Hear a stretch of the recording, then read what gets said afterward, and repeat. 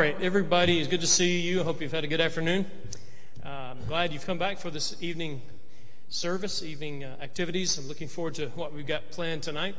Uh, just a couple, couple of words, and then Kyle's going to lead a couple songs. I'll share a brief devotional. We won't be this part, but it won't last more than uh, five, ten minutes or so.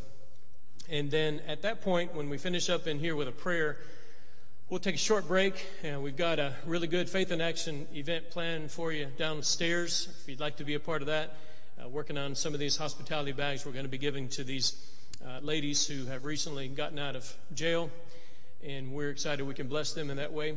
And we'll also be writing some uh, cards, or maybe doing one or the other, writing some cards to these ladies to encourage them, put some um, literature about the Hoover Church of Christ and about the Lord in there with them, and hopefully we can encourage them. So that's one thing that we'll be doing.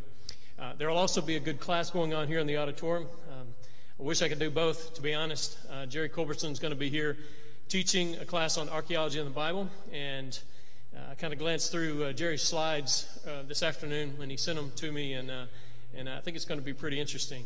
good good material. He's got a lot of experience in that area, so you'll be blessed either way you go. If you go downstairs with us if you stay here with us in the auditorium. It'll be a, it'll be a good evening. So thanks for coming. Uh, we'll have a couple songs. I'm going to share just a brief devotional with you. One, one thing, two things quickly, exciting news. Uh, we are so thrilled that uh, Emily Blakemore was baptized this afternoon. Uh, we are just so proud of this sweet young lady and appreciate her and her good family. Uh, Aiden McQuillan was also baptized this afternoon, and we appreciate uh, Aiden and his good family as well. Uh, both of these young people are just encouragement to us, and I'm, I'm, just thankful that they're a part of our congregation here. So we appreciate both you guys and your families. Live for Jesus, oh my brother.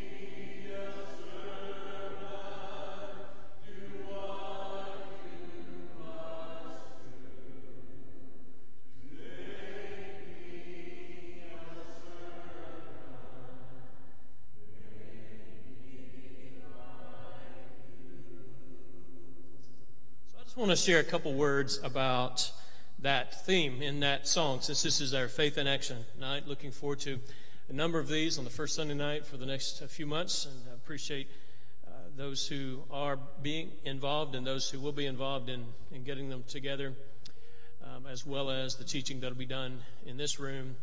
Um, I w- we had some work done at the house this week, and a repairman was there, and inevitably seems questions come up about, you know, what do you do, that sort of thing. Told him what I did and asked questions about the church, you know, what, what what's the church like? And and, and that's an interesting question. I, I don't know how you'd answer that question. Like, what is what is your church like? What is what is your church like? The church where you attend. And my my response to it was was pretty simple. I, I, I said, there are a lot of things you know I can say about our congregation, but but one thing that always sticks out to me is we have a lot of people who like to do good for people. You know, we have a, we have a lot of people who like to be involved in doing good. That's a very simple thing, you know. It's um, I guess way that could be said of any church, you know. But other, but some churches have more of that kind of personality than others, and I think Hoover's one of those places. I hear it from people who come here, I hear it from people in the community, and I'm thankful for that. There are a couple of verses in the book of Acts. Um, there's one in Acts 10:38 where um, Peter's talking about Jesus, um, and it one of the, the verse 38 he says uh, he says that he about Jesus he went about doing good and healing and so on. God was with him. Acts, when God's with you, you just you just do good stuff. Uh, but that's what Stephen said, or what Peter said about, about Jesus. Then there's this passage in, in Acts 11, one chapter over, that's describing Barnabas. Remember Barnabas, right? Barnabas was a pretty neat guy. And it says about him, just a very simple expression. It says, He came and saw the grace of God. He was glad. He exhorted them all to remain faithful to the Lord with steadfast purpose, for he was a good man, full of the Holy Spirit and of faith, and a great many people were added to the Lord. Uh, he was a good man. Jesus went about doing good. Barnabas was a good man. Um, this letter we've been studying quite a bit on Sunday mornings, First Peter, says that Peter writes to a church that was kind of struggling with how do we relate to the to the world, to, to the secular world, and Peter keeps emphasizing throughout the letter. He says, "Do good. You know, do good. Be be a blessing to the to the people around you." And when Peter says that, he says, when you encounter hostility, bless. Instead of returning hostility for hostility, but rather return blessing for the hostility that they give you. And he's actually echoing, a pretty oft quoted statement in the Old Testament, in the book of Jeremiah, where Jeremiah is talking to the people about you're going to go into captivity, you're going to be there a long time. What do you need to do while you're there? That was the question. You know, what are we going to be? What, what, what, we're, we're here, we're in this foreign land, what do we need to do? And Jeremiah says, build houses, plant vineyards, have kids, get your kids married, enjoy your grandkids, and bless the city where you are. In other words, you're going to be here for a bit. You're, this isn't going to this isn't going to be over by next week. You're, you're going to be here for a little while, so do good. Bless the city. Bless Babylon. Babylon was a, was a wicked place, but bless it anyway. Build houses, take up residence, live here, and I think, you know, faith in action is, you don't need faith in action to, to, to do good, obviously. Uh, we, we got folks, and this is the only time we do good, we're not doing what we need to be doing, right? Because, uh, you know, we got folks do good all the time. But uh, this is an opportunity for us to bless the city, uh, to bless the community, to bless people. And um, I'm thankful that we have a lot of folks who um, have that mindset. And so I just wanted to encourage us. Uh, this, this just is an outgrowth of what it means to be a Christian. And so, if you choose to be a part of it, it's a, just a small part of what Christianity looks like when you when you live it out. You know. So I wanted to encourage you. Thank you for being here tonight. Uh, Jerry's class is going to be great. We've got a good activity downstairs for you, and so I know you'll you'll be blessed whichever route uh, you go tonight. Uh, do we have any prayer requests? Anything you guys want to share before I pray? We'll be done here, Dania.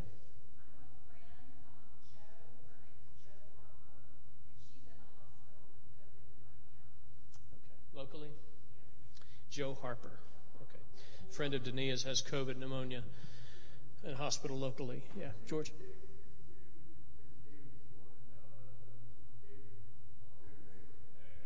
Yeah, David Naylor has COVID as well, and his kids do too. Is that right? Yeah, David's kids as well. So we'll pray for pray for David and his kids. Joe Harper.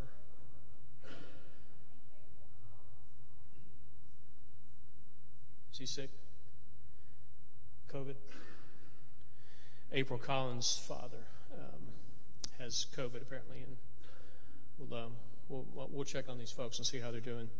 I appreciate that. Anything else? Okay. Well, I'm going to pray, and then after that prayer, if you're going to go to Faith in Action, we'll head downstairs and uh, we'll take just a short break. Uh, if you're going to stay here in the auditorium, it'll just be a, a, short break, and then Jerry will get up and start teaching here in just, uh, just a few minutes, okay? Let's pray together.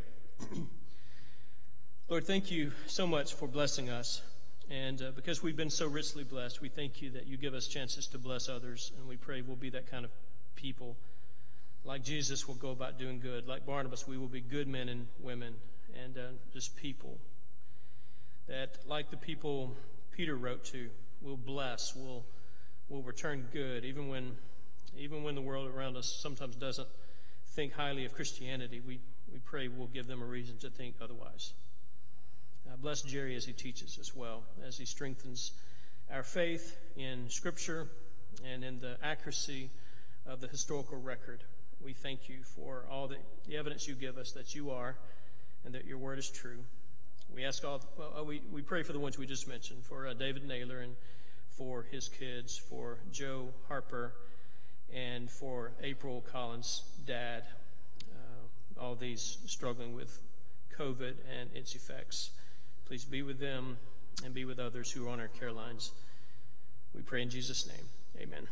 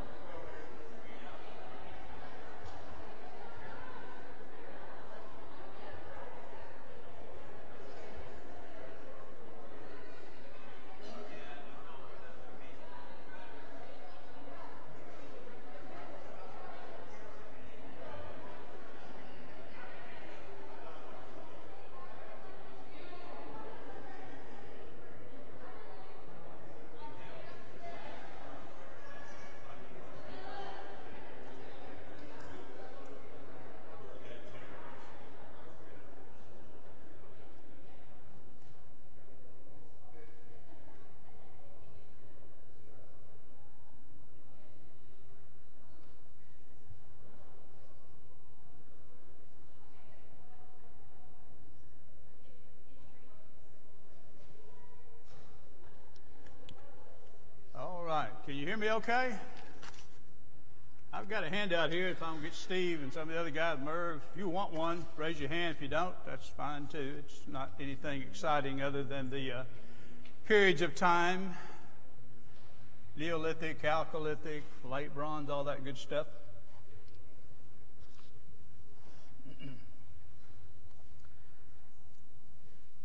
I do appreciate uh, being asked to uh, teach this class for the uh, next uh, five Sundays, first Sunday night of the month, that is.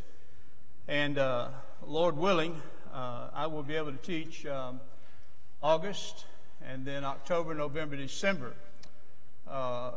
if this COVID mess goes away, then my friend Bob Coles, who I went to Israel with for the first time in 1993, again in 1996 and 1999, uh, he and I on September the 5th will be in Jerusalem for a couple more days, and then we're going to get on a uh, plane and fly to Athens, and then to Cairo in the middle of the night, and get on a ship the next day and float down the Nile.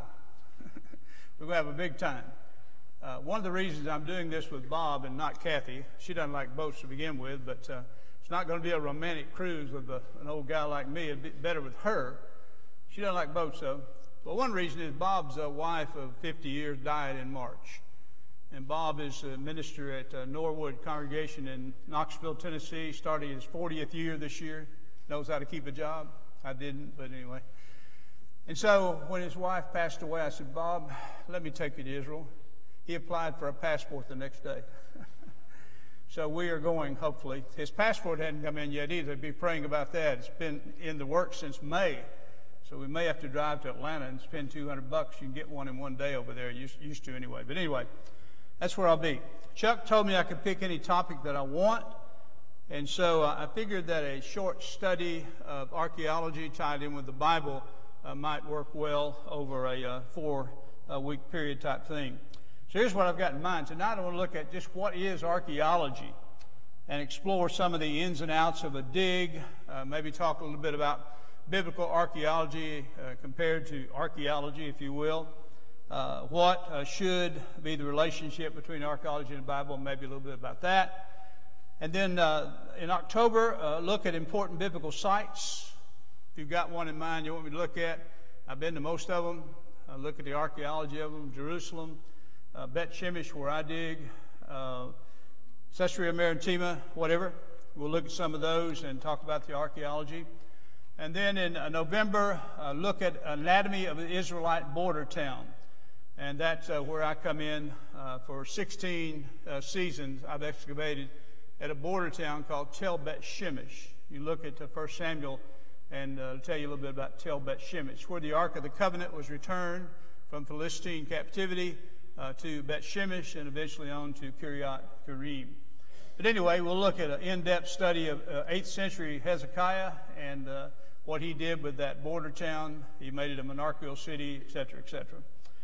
And then on the uh, last December, uh, I want to deal with uh, coherence, and that is uh, archaeology and the Bible. how do they cohere? And I'll be dealing a lot with a, a dissertation that I finished actually last year, which was entitled uh, the emergence of ancient Israel, a model of coherence between archaeology and the Bible. And what I'll do is uh, look at some places uh, like Shechem, amazing story at Shechem up in Samaria, and talk about uh, how the, they might have been kinfolks. We'll talk about the conquest of Israel, the origin of Israel. Uh, they did not take it by conquest. Joshua is a theological book. He says they took it by conquest, and then Judges said they didn't. So you got to look at it from theological point of view. It wasn't a conquest, I guarantee you. But anyway, we'll talk about all that. Uh, tonight, I want to be, and by the way, if you have any questions, my wife is not up here. She usually my interpreter. I don't hear well. I talk well, loud, but I don't hear well. So if you ladies have a question, you'll have to send somebody up here to interpret it because I won't hear you. I have my hearing aids at home. Actually, my hearing aids, when I put them in, I think I can't hear any better. But I can hear TV with it. I love it for TV.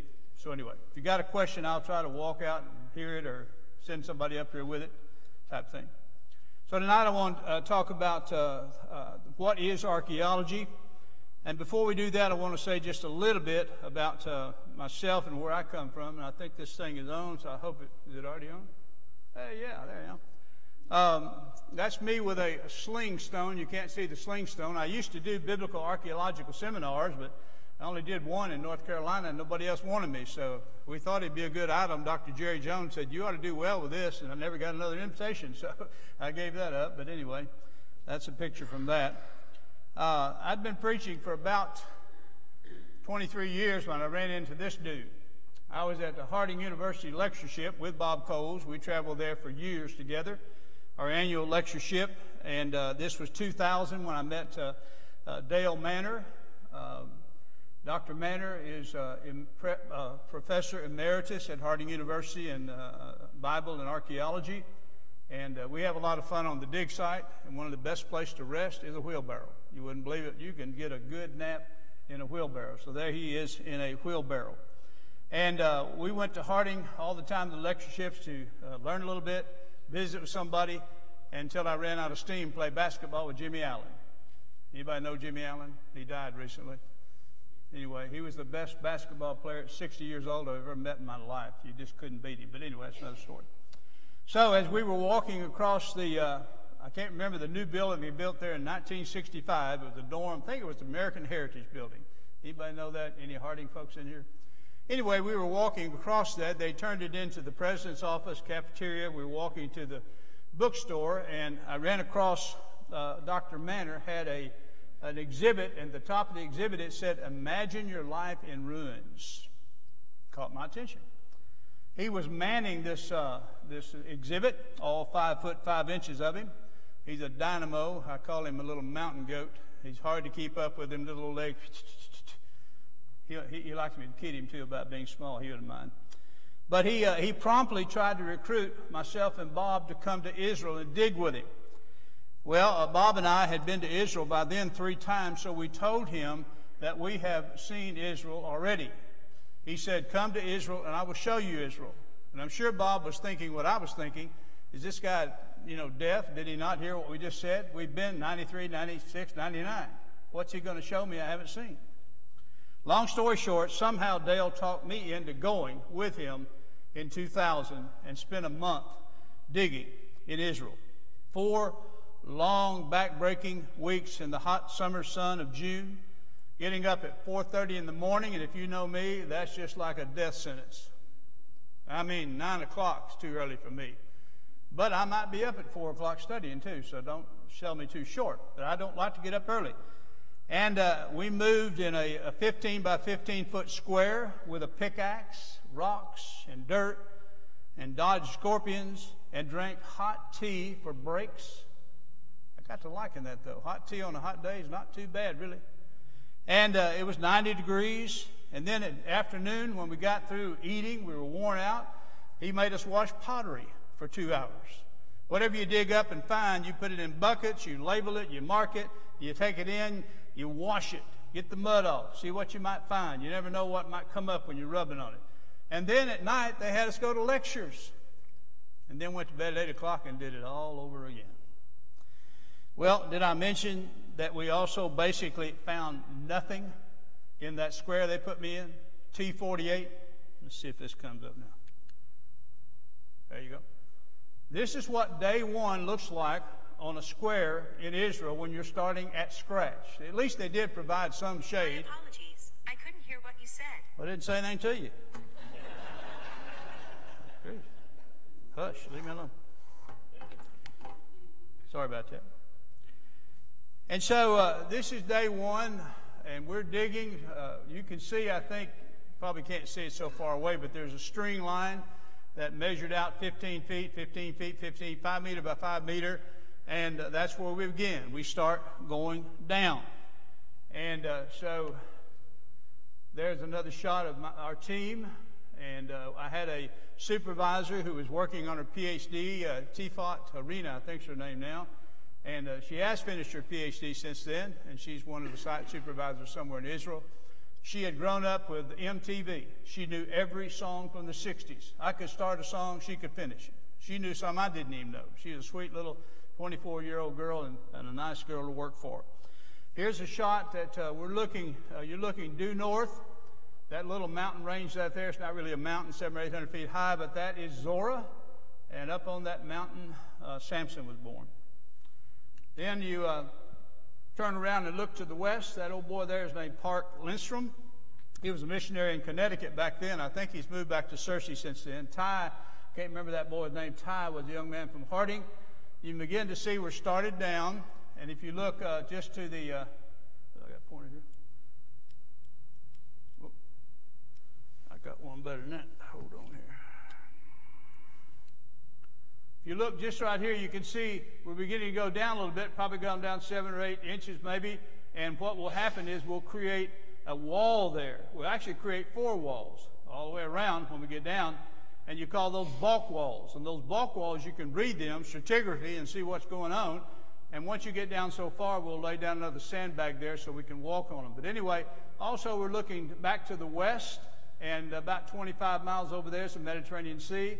This is the beautiful Sorek Valley all around us, and uh, we'll see more of that in a minute. And in that Sorek Valley, you'll see when you're looking to the west, right down in that little valley, uh, at one point, the Ark of the Covenant was brought there. Whew. Give you chill bumps. You look into the north, there's Samson. You look down to the west, there's the Ark of the Covenant. It had to be there. Now in Jerusalem, you can walk in Jerusalem, and they'll say, This is where Jesus walked. You say, No, it ain't. 25 feet down, he may have walked. He didn't walk up here, okay? But this is the real deal here.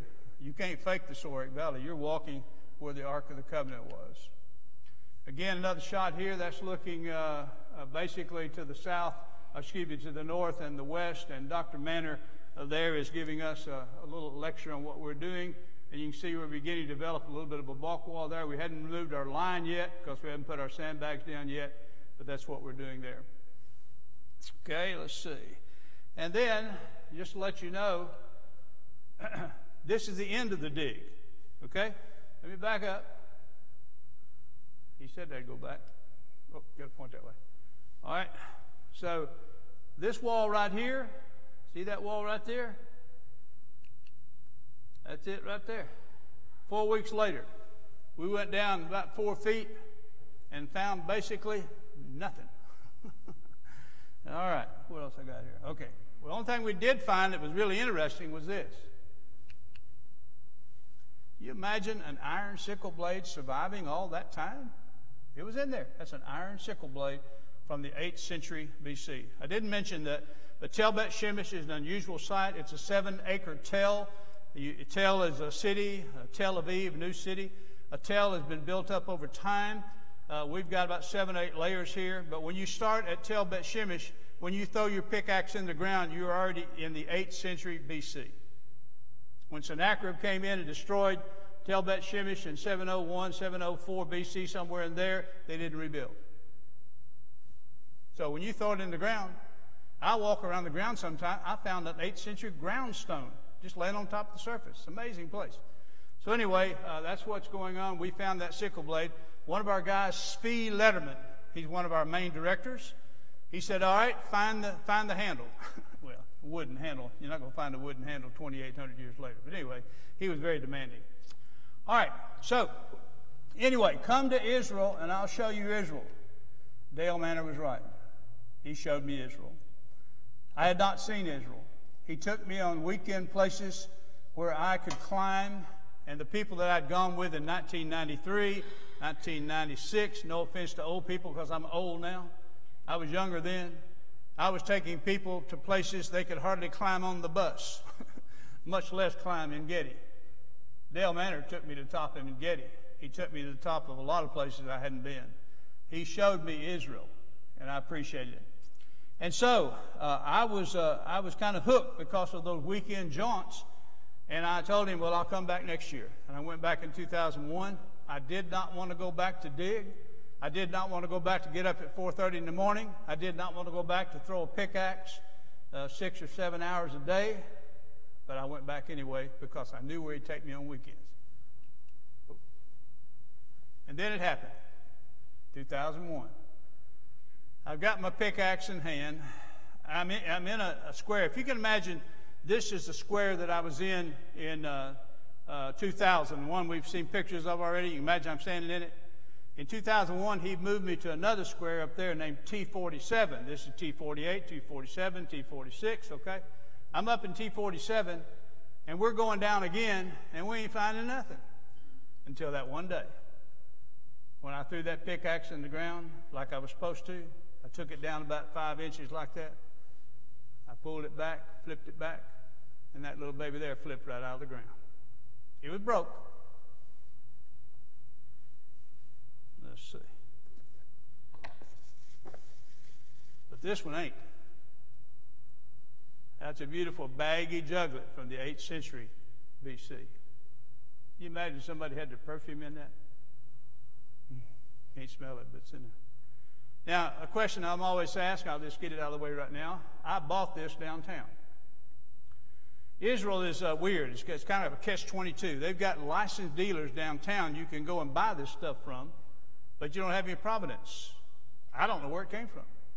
But I do know one thing it is an 8th century piece of pottery, exactly like that baggy juglet that I'm holding in my hand. And the reason we buy them is because the guys in Israel don't like us to do it, but they get all this stuff, take it to the university, and teach with it. I don't have anything, but I do now. I bring this stuff back and I teach with it. So that's why I buy it. And uh, I buy it from a dealer downtown Jerusalem. I don't know where he gets them. I don't really care. Apparently, the Israelite uh, government doesn't either. But if I tried to take that thing out on an airplane, they'd throw me under jail. I've got a certificate for this one. I paid good money for it. I can take it home. That's the way that works. I would pass it around. Forget it. I got a few things I'll pass around in a minute, but not that. All right, where are we? Okay, uh, one thing I will tell you, I, I learned to appreciate that T48 back here, 2000, 2001, I'm in T47. I'm in T47, and let me tell you right now, I've, I've got, I, I'm an old old timer. I got a work ethic. These college girls that come over, some boys too, but usually pretty little college girls, they sit on their hiney and dig. You cannot do archaeology on your hind end. So I'm looking back there, I'm in T47, I'm killing myself with a pickaxe, and I look back there, there's three of them sitting on their hind end just kind of doing this. Oh, my blood boils. Later on, when I, when I finally became a square supervisor, that didn't happen. They either got up and worked or they went somewhere else. They didn't work for me. But here's what I want to tell you about that. Those girls are digging around, and guess what they found? They began to find little slag, iron slag. And before you knew it, they brought some real people in there to work, put a grid in there, and began to dig that. It became the largest Smith iron shop in all of that part of the world. They'd never found it, it wasn't for me. I did all that work. I took that thing down four feet, me and my team.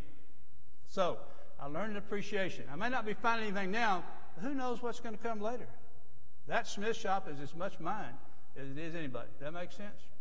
So I was hooked, and uh, I've been back uh, 14 out of the last 16 years on that deal. And so uh, that's what it is. Uh, one other thing, uh, my specialty is pickaxe. I know I'm a, well, I was 52 when I started. I'm 73 now, but last time I dug was 2019. I can pickaxe all day long. These kids wear themselves out because they pickaxe like this. Whoo, whoo, whoo. I try to show them, but they won't listen. Set your feet, take your axe, bring it up, bend your leg, hit it, pull up. You can do it all day long if you're in any kind of shape at all. I was doing that in, in 20, 20 in uh, 2001 in that square T-47. The main dog, Zvi Lederman, came by with a bunch of Israeli guys. He was showing off. He said, he said, uh, he's way up above me. He said, look, that is jelly. He the best peacocks man in all of Israel. Peacocks? What's a peacocks? Pickaxe. so I'm the best peacocks man in all of Israel. That's my, uh, that's my title. That's what I do. So I was hooked and uh, been going ever since.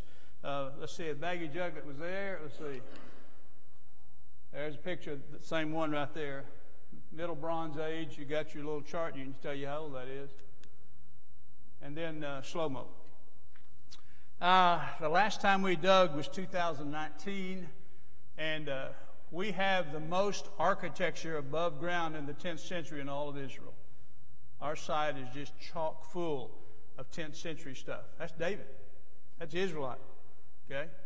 And uh, we've got, we have found a Canaanite temple that dates to about 1375 AD. The reason we know of that precisely because Egypt ruled Palestine from 1300 down to about 1200, maybe 1400 to 1200. And we found a cartouche with the name of uh, III. He ruled in 1375. So we know we're in that area. So this Canaanite temple is there. But 2019, we uh, are probably finished because this sweet guy, anybody watch the uh, TV show back in the 70s? I don't know, Welcome Back Kotter? Anybody ever see that? Does he not look like Horshack? Just a little bit. He even talked like him and he laughed like him. He died in 2020. Probably the best pottery man in all of Israel. That means we're finished because you cannot dig without somebody to tell you what the pottery is. You've got to read the pottery. You've got to know whether or not you've got pottery that comes from the 8th century or is it from the 13th century? Where's it from? And if you can't tell that, then you can't tell when you're changing layers and going down to another civilization. Something else, right quick. Somebody said, Well, how's that thing built up? Well, most of the buildings were out of mud brick.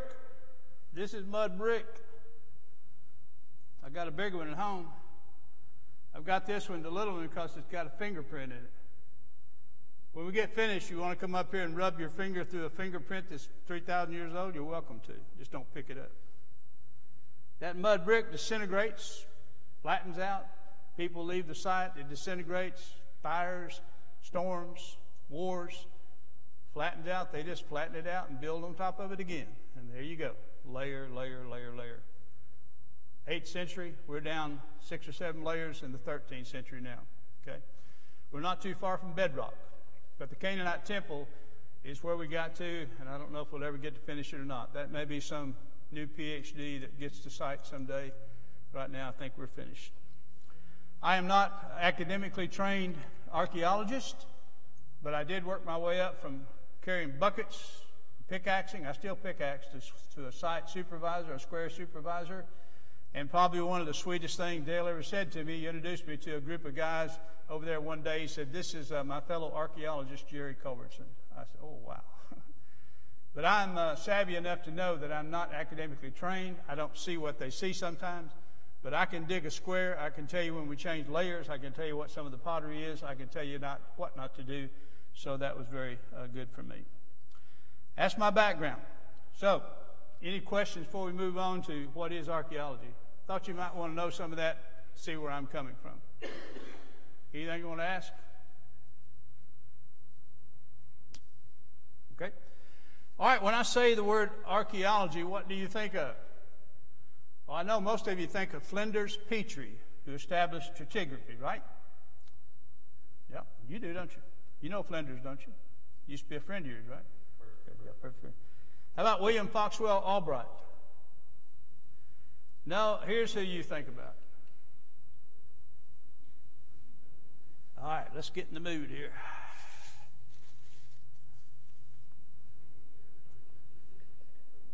And there ain't no good, self respecting archaeologist that doesn't have one of these. Put that up on your desk right there. Whip and all. Dale Manor, little fellow I was telling you about, he's a hoot. He's taken one of these little kits that got Indiana Jones, a whip, and all kinds of stuff, and he lays it.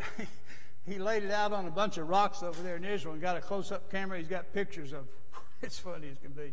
But anyway, Indiana Jones is who most of you think about. You do not think of uh, some of these great archaeologists that I mentioned a moment ago. but as recent as 150 years ago, uh, archaeology was basically still treasure hunting. They wanted to find as much treasure as they could, as quick as they could, and they really were not all that concerned with where they found it in terms of on the site, uh, what it might have been used for, that type thing. They were trying to get the treasures out as quickly as they could. um, if you remember the Ark of the, uh, remember the uh, Indiana Jones movie, the Ark of the Covenant was used to, the Germans wanted to get it to use God's power. Remember that?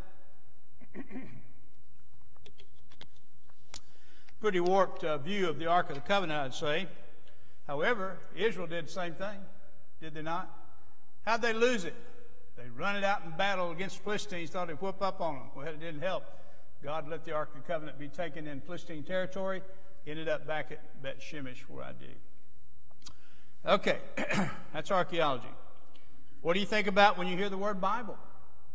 Well, there's a plethora of things you could think about. Hopefully, you'll think about God, Jesus, Holy Spirit, salvation, that type of thing, but it depends on who you're talking to, what they think about when they hear the word Bible.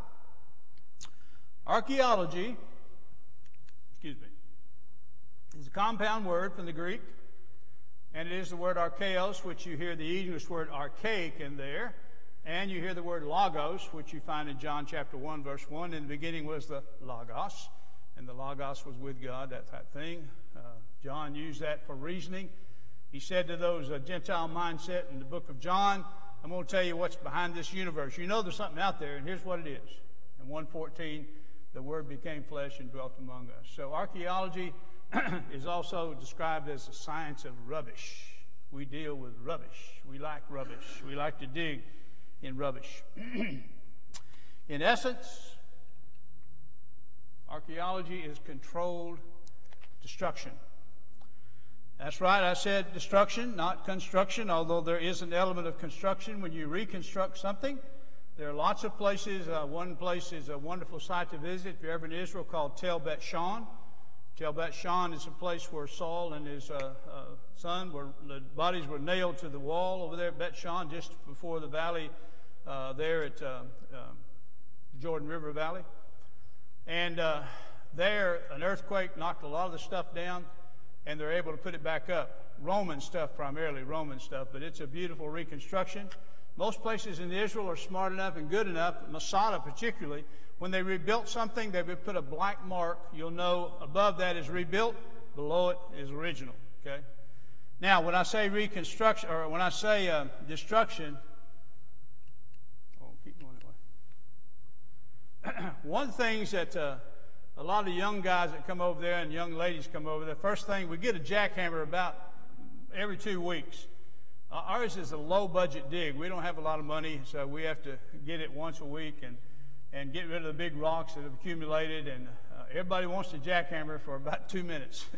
and then when they all get there a little tired, the rest of us who are, are workers, we have to do it the rest of the time. So one day we're jackhammering in that little square, rocks are everywhere, and uh, I told Frank, Dr. Frank Wheeler, uh, chairman of the Bible department at York University, I've dug with him since 2004. Uh, we had a taboon, which is a oven, in the corner of one of these squares, and alongside that taboon were rocks that were, were a table. They made their bread, they laid it on this table, made it out of rocks. So we're jackhammering these big rocks, and Frank said, Well, why don't you just go ahead and jackhammer that table there? It's nothing to it. Well, that is a beautiful basin being held by Dr. Dale Manor. Here's that same basin that I jackhammered because it was turned upside down.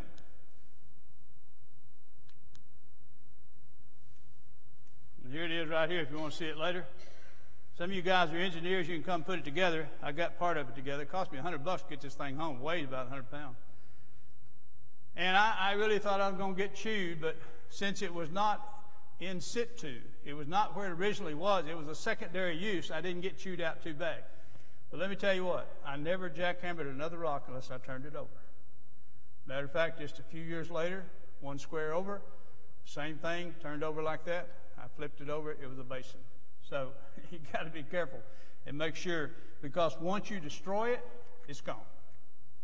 And one of the one of the toughest things for an archaeologist, particularly Zvi Lederman, some of these guys, they've got all this beautiful stuff there. They don't want to tear it down. We've got a we had a beautiful uh, oil press right on the edge of the Canaanite temple. I was digging. He said, Find the western wall. I found the western wall and would have found all of it, but he wouldn't let me get rid of the oil press. He said, I like it. I said, You may like it. How am I going to get the Western Wall? Because once you destroy that thing, it's gone. You can't make another one. So those are the tough decisions that have to be made by archaeologists. Uh, the modus operandi of most early archaeologists was to recover as many valuables as possible in the shortest amount of time, and again, with no regard for where it came from. Let's see, did I give you all those? Let's see, that's the basin. Okay, here's one of the scarabs one of the things we find, that's the one I was talking about. It says to Thutmose III, that dates to about 1375. Archaeology today, modern archaeology, has gone way beyond what they used to do. We, and, uh, we, uh, we enlist the services of uh, zoologists, botanists, Egyptologists. They read that for us, told it what it means. None of us could read it. Uh, bones, we, we get hundreds of thousands of bones and we send, used to send a, a lot of them to a guy at the University of Alabama. I think he did them wrong one time. We quit him. But anyway, uh, later on when we talk about Bet Shemesh, maybe on that one I mentioned, I'll tell you about bones. I, I could show you in a level where we dig so far, ain't no pig bones. Guess who was there? Israel. And then you start finding pig bones. Guess who's there? Philistines, Canaanites, that type of thing. So bones are very important. This is a diagnostic tool as well. Uh, modern archaeology, things have changed. We study building materials, mud brick, hewn rocks. Uh, that mud brick right here came from a what we believe was a building on the side of the tell, on the northern side of the tell. It begins to slant down, and uh, these mud bricks had fallen from up there. On the northern end of the tell, we believe a palace was built by a lady by the name of Nanir Makmish, and it was destroyed by fire. It fell over into the into the uh, places where they had uh, uh, uh, buildings that housed their materials, and it's there. And we took out over 900 of these mud bricks. Most of them burned. And uh, we laid them out, and then eventually you get some if you wanted. And so, Nanner Mukmish is another story. I'll tell you that later on. We believe she was the only Canaanite queen to ever rule in Israel, or Canaan at that time. That's another story. The temples and buildings and palaces and olive presses and taboons. I've tore apart an olive press in 2016. We dissected it first, see what it looked like, then we took it completely out. It's gone, but we've got many more to look at. Jewelry, uh, children's toys. We find children's toys made out of, uh, of uh, ceramics, weapons, slingstones, animal skins, canteens, scarabs, cartouches, clay figurines, beads, food, We found uh, some jars in that uh, warehouse where the brick fell on top of it. We found some, some grain from 3,000 years old. How about that? Still in that pot. Pottery bowls, jugs, burial rituals. We have, uh, we have some um, tombs below on the west side of Tel Bet Shemesh. We explore those as well. In short, we're looking for anything that exhibits the presence or activity that man was there at one time. And then after we do that, we have to decide what was he doing there, who was there, what did he use this for, how did he do this. It's a, a process of interpretation. Um, passing through layer after layer of civilization. Uh, again, the date of the pottery is the thing that tells you where you are. Uh, there's the Egyptian uh, scarab I mentioned. Here's another Egyptian. I remember this plane, it was 2007. I was standing pretty close to the girl who found it. She, she hollered, screamed like something. I thought a scorpion had bit her. Ah! she come running out of there, and she had this in her hand. This is a flat ceramic pottery figurine, half of it. And that top half, it's a pharaonic figure. Uh, you see the pharaonic figure holding the lotus leaf. And then uh, Zvi came over as usual. Find me the other half. And she did. Two hours later. That is very unusual. Very unusual. Two hours later, she found the other half, and there it is. Beautiful piece. Uh, down at the bottom, you've got the Pharaoh who is standing like a woman. There was a, a Pharaoh in Egypt. Her name was Hatshepsut. And her brother didn't like her. He tried to cover up everything she'd ever built, and what he did was preserved it. Beautiful temple at uh, the Valley of the Kings, Hatshepsut's temple. And she dressed up as a Pharaoh with a beard, but she stood like a woman. Same thing going here. That's, uh, that's the circumstantial evidence we have, along with the palace, and along with a lot of letters written to uh, the, the, Egyptian uh, Pharaoh from Tel Bet Shemesh asking for help. All of that is a smoking gun that our queen was named Nanar Makmush. And we think this is her, a depiction of herself when she ruled Tel Bet Shemesh. Now, I say ruled and king, keep in mind in that day and time, Gezer had a king, Beersheba had a king, uh, Bet Shemesh had a king, Zorah had a king, everybody had a king. Just like all these little towns right here got mayors. These were kings. But they were under Egyptian power. And when things went bad, they wrote to Egypt. And uh, this person wrote to Egypt and talked about every town within 20 miles around her and never mentioned her, Bet Shemesh. She didn't have to. That's who she's writing from. And she identified herself as a lioness. So we believe we have the only queen who ever ruled in Canaan. Her name was Nanar Makmush. Again, you distinguish between pottery. In 2012, we found this Canaanite temple, the beginning of it, and all around one of the stones, which we thought at first were standing stones, turned out to be a sacrificial stone with a cut where the blood ran and the basin turned over that caught it. And around it was all this pottery. This is Philistine pottery. It's decorated. Israel didn't decorate their pottery. So you need to know the difference between that as well. All right, here's some plain Israelite pottery. Top of a kind of a basin type thing or a jar. All right. now then, when we talk about, uh, I don't know how much time I got. What, what time is it? Well, I tell you what, you leave when you want to. I'm going to go till I finish. If you get tired and leave, I can't hold your attention. That's my problem. So leave when you want to. Anyway, I don't mean to be rough. uh, anyway, the uh, biblical archaeology. What is biblical archaeology? And again, uh, you have folks that uh, in the 1990s, and this is still a problem today, uh, back in the day with Albright and Flinders Petrie and these guys and the Exploration Society and all this good stuff, they sent archaeologists over there to do one thing prove the Bible. Well, folks, that ain't what archaeology is for. And let me be the first to tell you the Bible don't need proving archaeology. It don't need it, okay? They're two separate disciplines, and they do two separate things. They both complement one another, though. And so we find here excavating a site in the land known as the Holy Land during a period referred to as biblical text without at least some involvement of the Bible in a site without foundation, it doesn't have any soul. That's Amnon Ben Tor, a famous archaeologist who dealt who dug at, um, hmm, forgot now, somewhere. Hatzor, I think. But anyway, so you got these archaeologists in the 1990s, and one of them was William Dever, a big dog, a big American uh, dog, man. He, he was big. He wanted to change the name, and he did, to uh, Syro-Palestinian archaeology. Well, he changed it to that and then realized after a while he made a bad mistake. He wanted to go back to biblical archaeology. And so they've tried to do that. And the reason they did that was these young Israeli archaeologists said the Bible was leading the agenda instead of the other way around. And my contention is I don't care which one leads it. Let each one do what it does. If the Bible has something to say about the archaeology, fine. If the archaeology has something to say about the Bible, that's fine too. If it doesn't, who cares? And so that's part of my thesis, and we'll talk about that a little bit later on. But anyway, that's uh, some of the stuff that's going on. Uh, one more PowerPoint or two, and I'll be through, actually. I mentioned to you earlier stratigraphy. This is very, very important. This is uh, Ferris Austin. At one time was dean of students at uh, Faulkner University. Last two or three years, he worked as their traveling guy who did uh, recruitment for master's programs. Uh, he was the best bucket man of all of Israel. I was the best peacocks man. He carried buckets. I mean, and you don't understand. When I go across a square 15 feet with a pickaxe, I'm steady. And I'm creating dirt. And these kids fall in behind me with an inverted hole, a big old hole called a terea. They put buckets between their feet. They're looking all the time. They're supposed to be anyway. Supposed to be looking because I might pop something up.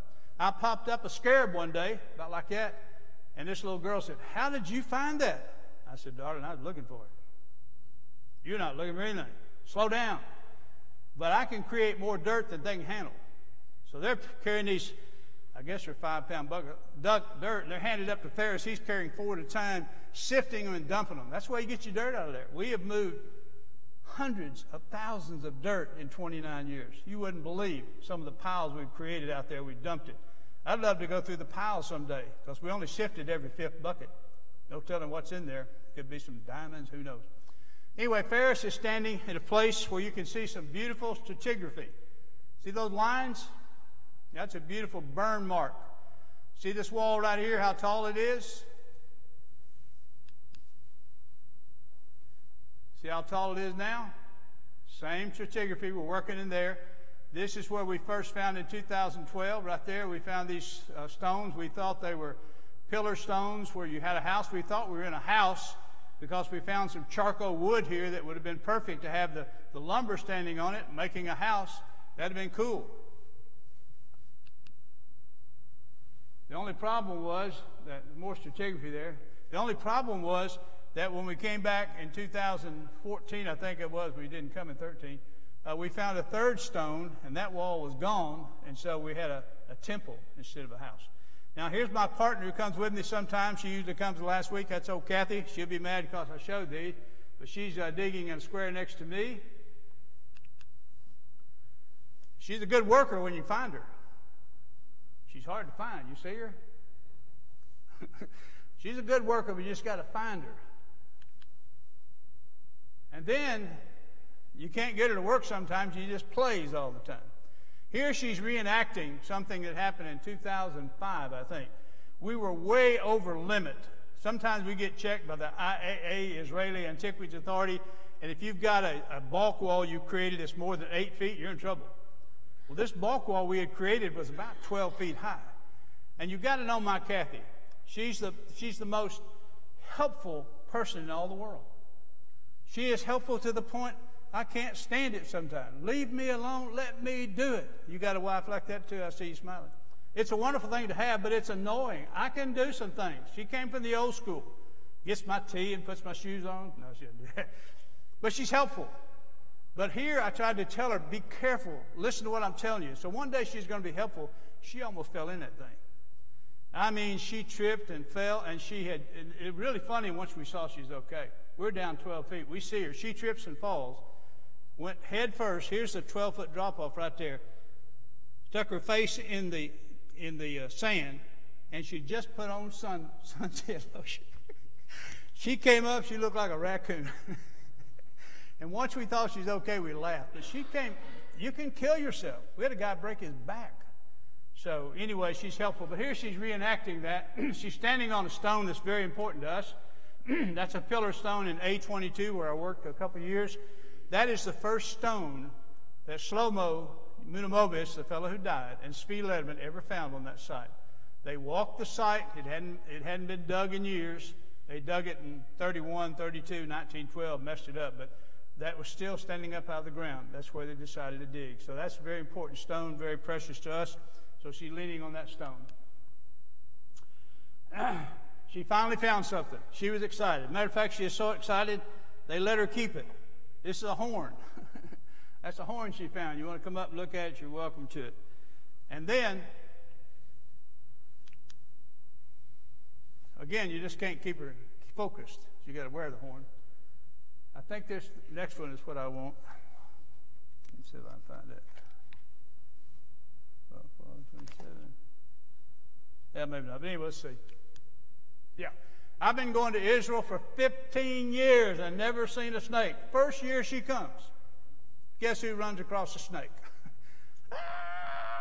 Whole square is running out. What is going on? And that's a snake. I don't know if it's poisonous or not, but I didn't stick around to find out as well. So anyway, uh, she found a snake and that type of thing. She also found some sickle blades. Our Canadian buddies who work with us, they love flint more than life. If you find a piece of flint that's uh, that big, they can tell you if it's ever been worked on, if it's got any bubbles. They love it. They mark it, they draw it, they photograph it, everything. Here's a couple that we had so many of them, they let me keep two of them. That's a, that's a blade. That's a sharp sickle blade. There's two of them here. You're welcome to come up and look at them later on. I'm going to start this around. Just pass it around anywhere you want to. It's a jar handle.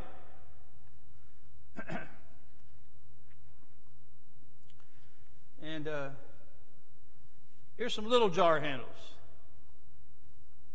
Pass those around.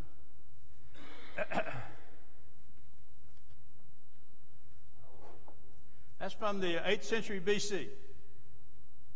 Dug those up myself. I'll start these in the back. I found this rock one day and they didn't want it. I said, I like it. It's my bowling ball.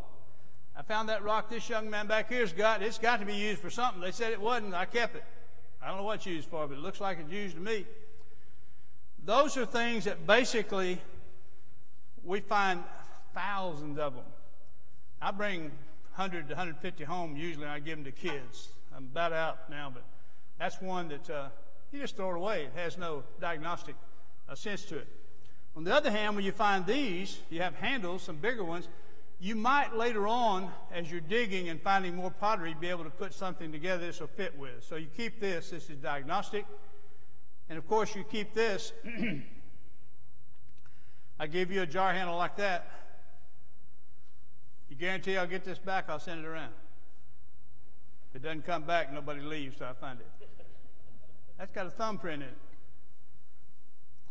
The ideal is with the thumbprint as well as the finger mark up here on this one, that the craftsman at some point when he made 50 or 100 of them, he put his mark. He knew where he was. That's a diagnostic thing. We, we, uh, we, keep, uh, we keep those when we find them. So I'd like to have that one back for sure. All right, let's see what else we got here. Now, Kathy also, she's kind of a smart aleck. I said to her something, and she said, You want me to do what? I like that. You want me to do what? I didn't really tell her anything. This is a pit. Sometimes you'll find uh, pits. I got another. There you go. I'm going to stop with this one. But sometimes you'll find pits. I'll talk more about this pit later on. But they did just like we did when I was growing up in southeast Missouri. You probably grew up in a town like this if you're my age. And uh, right now, still in Kennett, Missouri, they're 20 years behind time, maybe 100. When you come there about 5 in the afternoon, it stinks. They're burning their garbage in, in cans still. They do that. Before cans, you buried it. These people did the same thing. So if you're in a square and you know you're in a certain century because of the pottery, and all of a sudden you find pottery that doesn't belong there, it's because they dug a hole and buried their sand, buried their stuff in it. This is a pit right here, a pit. Happens to have bones in it. And I'll tell you about those when we get to the Bet Shemesh part. So anyway, um, that's all I have for you tonight. If you've got any questions about general archaeology, I think I covered a lot of it. And uh, if I can answer any, fire away. If not, I look forward to October. If you have any questions you want me to deal with, let me know. I'll try to do that, other than the three things that I've talked about. Thank you very much.